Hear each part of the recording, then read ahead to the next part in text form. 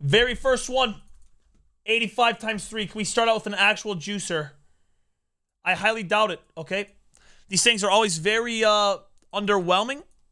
We'll get after it. 7.3. I do understand. I stuttered a little bit there at the end, but at the end of the day, it's like not that serious, is it? Yes! Uh, now that right there is exactly why you send these. You don't even get a big walkout. Let's see. I'm guessing 285 behind this. I'm gonna guess uh Summer Thiago Silva. Oh, indeed. He's kind of 87, 86, 85. Now that is really awesome.